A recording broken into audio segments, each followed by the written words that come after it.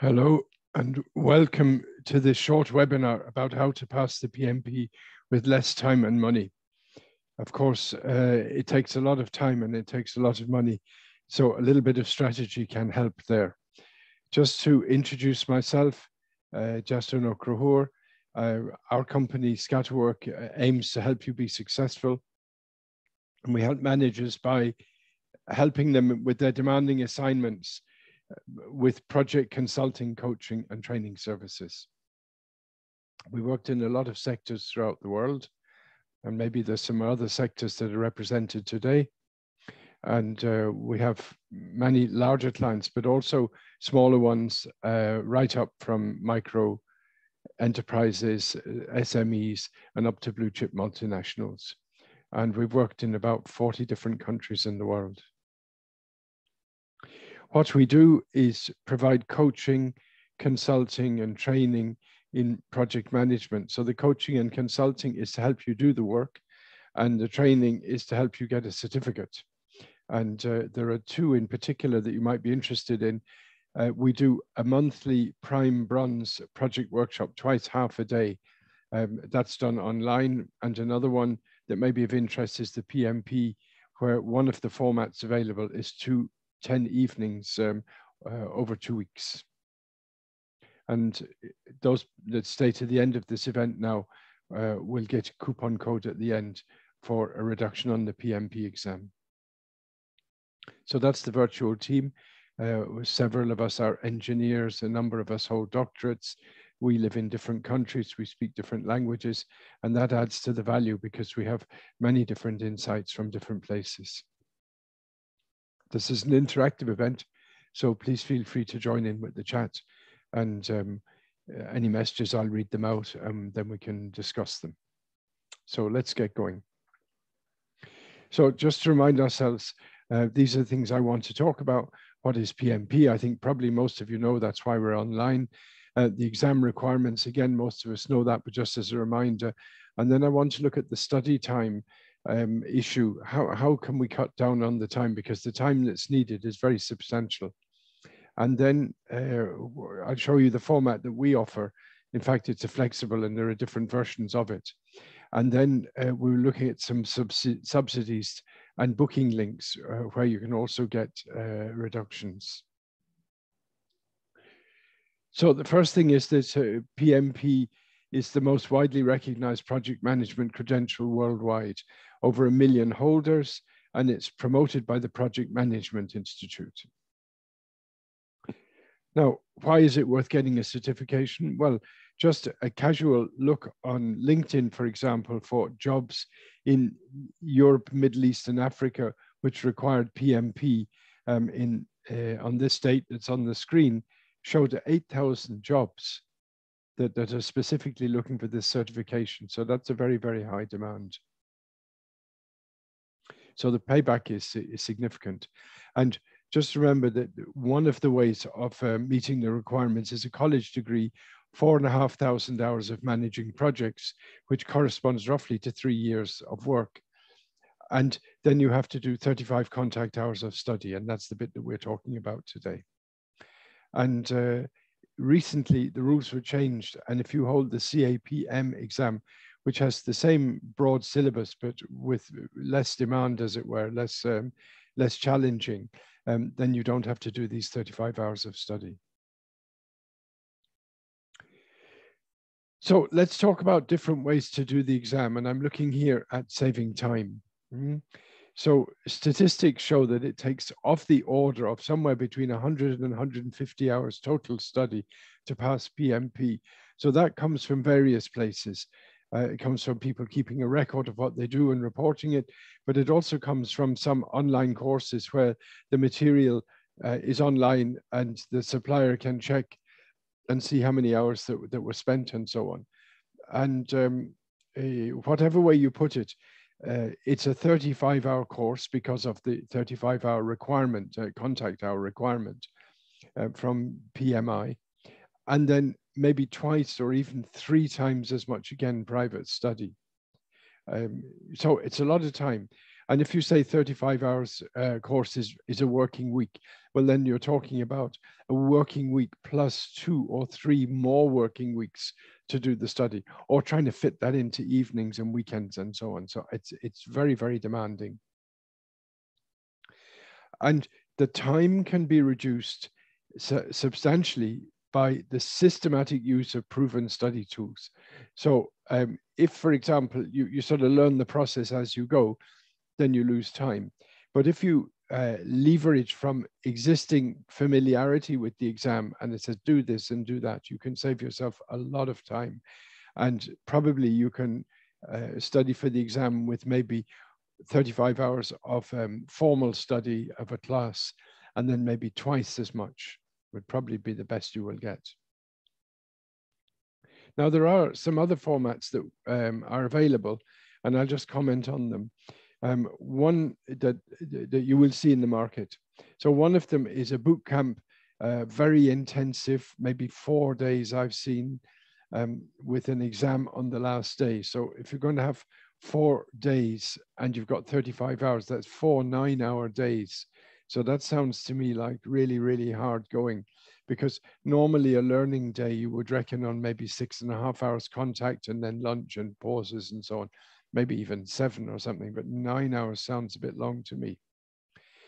Um, and then uh, to do the exam on the last day, you have to have already registered. But of course, to register, you have to have already done the course. So actually, to do this version, you have to have the 35 hour study before you do the course. So although it's, it may be billed as a 35 hour uh, intensive course, actually the prerequisite is that you're already up to standard. So it's a revision course. So it's fair enough if that, if that suits your style. Another option that's in the marketplace is Fridays and Saturdays uh, for example, two weekends in a row, and you take all day Friday, all day Saturday, and then you have um, uh, uh, nine hour days, and in principle, no gaps, and you get your 35 hour, well, 36 that would be. So, with a little bit of gap for coffee breaks and things. So, again, that's very, very demanding. It probably meets the letter of the law. Um, but the problem is that when, when you study, you learn so much in the course and then you have to learn all the rest after the course. And so you can do it like this, but then probably the amount of learning is going to be less and the amount of extra time you need afterwards is, is probably going to increase compared to a more, uh, shall we say, a, a, more normal sort of business um, approach. Another option that you'll see in the market is five days in a week. You know, we do a course and you can you can talk to us anytime with that. And then after that, you're on your own. Maybe you get the book um, you, and things like that, but basically you're on your own. So in, in summary, a lot of these, uh, I would say that they're, they're not impossible and they might suit your circumstances, but they are actually quite demanding. So um, let me have a look at some of the formats that we find, and these are formats that we offer, uh, and we find them more successful. So another one is Friday afternoon and Saturday morning. Well, that's two half days, so that counts for a day, and do it over five weeks. So it's you've got more time. You know, you're at the end of the week, most of us, and uh, you do Friday afternoon and then Saturday. It's not impossible um, it's probably easier than doing all day Friday and all day Saturday, but it requires five weeks. So it's a more gentle learn, but the chances are that your learning time is going to be more effective. Another option that we offer is Tuesday and Thursday evenings um, over, over um, well, in, indeed over five weeks if you do two evenings a week, or over 10 weeks if you do it um, one evening a week. Now, we all know from experience, if you have a program that runs 10 weeks, somewhere along the line, something happens and it makes it impossible for you to get to it. And then you have to drop out and then you have to compensate for that um, by doing private study. So it's, it's an option. Or you can do five working days in a week. The original format of the PMP exam was exactly that was and face to face And, and that's an option. Some people say, look, I just want to do it and finish with it. But actually, we can offer any combination in any global time zone. So, uh, you know, your company might say, well, Wednesday evenings and Saturday mornings, or, you know, Wednesday evenings and Friday all day, or whatever it is. And we'd be able to put a program together for you in any time zone um, to match your need on that. So one way I've just been showing you is to have a slightly more leisurely um, approach to the training so that your training efficiency is better. You know, you want to learn as much as you can per hour of study. So if you if you really push it, you, you meet the hours requirement, but you probably um, hit up against the, the learning barrier. Okay, so then what we do after that also to reduce your study time is quite a number of things. One of them is we have a detailed study plan, and the detailed study plan um, it it's, uh, helps you know what to do each week. You don't have to think about it. It's based on hundreds of people's experience and it's adjusted. We collect experience and feed it back in into the plan. So we know it works. And typically we suggest people go for six, eight, 10 week plan um, if it goes much longer than that, you get burdened and you get bogged down and you forget things and so on. So it's ideal to look for a, a, period when you can, can do it over that. But we give you the study plan and having the plan, that itself saves you some time because uh, you can you can act more efficiency and and you don't have to learn the plan or work it out yourself. We give you access, of course, to all the course material. Um, so that that's really helpful. You can always go back to anything. And we also have recordings of the classes so you can go back to them. You can access the trainers for advice. Um, we have two periods a week where you can just log in and there's a, um, a, a, conference. Um, you can ask directly, you can email. Um, and if you, you need to, you can say, look, I really need some extra help here. Could we set up a video conference? And we do that as well. So our aim is, is for you to pass, not for you to just do the course and then disappear. Now, another thing that takes a lot of time is the exam application. Um, it could, I, I suggest people budget in the worst case, maybe, you know, a week of work to do that because you have to pull out all the information of the projects that you, you did. Um, you have to pull out the name of the supervisor, and the telephone number and things. And the reason for that is that PMI audits a number of people. We don't know what the number is, but it's probably around 25%. It's quite a few. We meet people all the time who are audited. And what they do is they take your application, they send it to the person you name and say, is this true? So to get that ready, you have to get it properly documented. And then if you're clever, you will send it to the person concerned and say, if it comes up, do you agree with this? And then um, another thing is the, the actual wording. You only do it once, but we do it all the time. So we have a service there as part of this where you can uh, put your application to us and we'll go through it with you and make comments and then you can improve it so that the chances of it being accepted by PMI are greatly increased. Like we know how they work and uh, the formatting and so on. And um, we also have videos that show you how to do that. But when you've done that, we also read through your application and, and help tidy it up. We also offer that you can resit any part of a course or the entire course, if you like, for free before you do the exam. There might be something you say, mm, I wasn't quite sure about that. And um, we, we, it's one reason that we uh, deliver our training uh, fairly tightly to timetable so that if you had to say, oh, I'm going to go into day three of this course, you would actually hit the right part of it. And then another thing, all of these things are to save you time. And another one is a dummy exam to check your level because uh, for two or three reasons. One of them is from learning, you get as much as you can during the learning, face-to-face learning, which is online usually, but not always. Then you, you study on your own, but you have access to other people. So if you get stuck, instead of wasting time, you say, I really can't understand this. And somebody else explains it. Ah, you say, that saves you time. Mm. And then um, you do questions uh, for an exam. And when you get to uh, the level, 75% uh, uh, on our exam, we know from experience that virtually everyone who goes for the exam passes it. Now, you might ask, why is this a dummy exam? Why isn't it sort of copy of the real one? And the reason is the way that it's managed. If there were a million questions in the data bank, then PMI could, uh, in effect, leave the exam open. And, uh, you know, you would just get some of these million questions. But they don't have a much more limited um, number.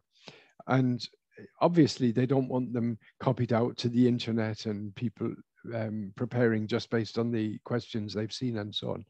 So when you do the exam, there are very strict instructions that you can't bring paper, you can't telephone out, and all those sort of things. So we know from experience, and we talk to our own um, participants, we know roughly how the exam is organized, but we can't duplicate it. So we have one that we think is similar, but what we do know is that if you if you pass that one, then you've got a very, very good chance of passing PMP. And again, save your time, of course. And then the last part of the insurance is that if you go through all of that and you fail, then we'll pay the resit fee, which is a few hundred dollars. So most of that, except the last line is insurance, if you like, but all the other things are things that will save time because we've got a, a, a system. It's efficient. You don't have to learn what other people are doing. Uh, you can you don't have to learn for yourself. You just jump in and do it. So all of that is to do with saving time. And we have very high pass rates, well over 99%. Uh, it's, it's really very unusual for us to have somebody who doesn't fail, who doesn't pass. So let's talk about how you organize your study time. So let's say that you do a 35 hour course, which you have to do and then um, you you need at least another two uh, two weeks, shall we say, another 70 hours. So if you did nine hours a week over eight weeks, which we recommend, well, that would be four and a half hours twice. So you might say, okay, I'll do one evening and I'll do Saturday morning every week. And I'll aim to do it in eight weeks. And you you do it, you go through, you repeat, um, you do the dummy questions, uh, you do quizzes, um, you reread the material, you watch the videos, whatever it is you find that you need to get to that level. And when you get 75% on the dummy test, we then allow you, we register for you actually to make things easier. Saves more time, by the way. Um, if you don't reach the 75, you just keep going. But we find in practice people get there. But even if you don't get there in exactly eight weeks, you probably find it would only take you a week or two more. So all of that has to do with saving time. And now what I want to do is talk about saving money. So there are um, um, a number of different ways of doing this. Um, one of them is that uh, we will give a subsidy uh, as a coupon uh, to somebody who stays to the end of a webinar, for example. And with that, uh, you can save maybe several hundred uh, euro uh, compared with the, the normal published price. And we're happy to do that because it's a sort of a payback for, for, for being involved and being, if you like, a champion of what we're doing. If you go on the Scatterwork homepage and look for the PMP, you'll find uh, the top of it, it looks a bit like this. And the book now button, you can click on that. And when you get through to the form, to the booking form, um, it will ask you for this code. If you put in a code, it will automatically calculate the reduction that you get. Um, then as you can see here, this is, it'll show the format of this particular course. So this is 10 evenings um, over two weeks. So this is actually um, uh, five evenings a week. So it's, it's quite strenuous, but it's certainly doable. And then this panel here shows you how many days until it will start from whenever we did this example. Um, and then it shows you in universal, coordinated universal time, which is, if you like, GMT. In other words, UK time in winter. Uh, and it shows you the time, the beginning and end of each session. But then it reads the time on your computer and it shows the time in, in your area, or at least according to your computer. So then you can say, mm, that would fit me, or, or it wouldn't. So you click on there to, to get the booking. Uh, the event format and dates are mentioned in the heading, and the start and end times depend on your computer's timing. Now, um, if you're an employee of a company in the International Financial Services SkillNet in Ireland, uh, you can get another subsidy. And the way that it works is that every company in the country uh, has to pay a levy for training. And this training money goes into the skill nets. And each skill net is either for a region or a, um, a branch of industry. And uh, the organization is supported by some of this money and also the participants of courses um, eh, are charged less than it actually costs. So in a way, they're getting their own money back. But if you don't do that, you lose the money. But if you want your money back that you've paid, um, you do it through SkillNet. So for example, we have a, a deal with the IFS SkillNet and um, their fee there is, is, is several hundred cheaper than it would be on the open market. And you'll find that link that is uh, there, IFS SkillNet. And so you'll find that on our website. Hmm? So if you work for one of these companies, and also there's a link here also on the website and you can click on it and you can see the, the list of the, of the companies. In fact, if your company's not in it, it might be worth the while just to apply. So that's it. So thanks very much for your participation. I hope you found that useful.